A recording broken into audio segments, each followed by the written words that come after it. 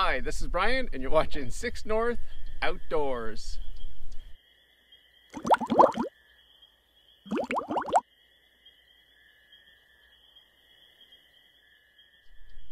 In this episode, we revisit the Suzuki 20 horsepower motor. We're going to do another speed test. In my previous test, I had a couple comments about the music that I had. Somebody wanted to hear more of the motor, so we're going to do a video without any music. And also, somebody commented about the difference in weight compared to my Mercury speed test. So today we have Carol on board. So we have approximately the same weight as the Mercury 20 horsepower outboard motor test. We're in the same boat. It's an Alaskan 15. Okay, we are ready to go. We're gonna start the motor up.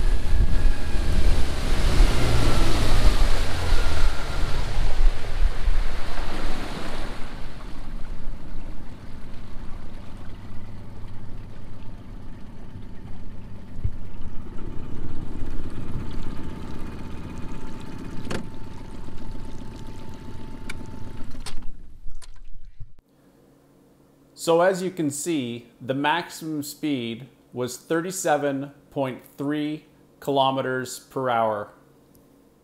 Here are the maximum speed results compared to the 2010 Mercury 20 horsepower motor. This is Brian and Carol for 6 North Outdoors. Thanks for watching.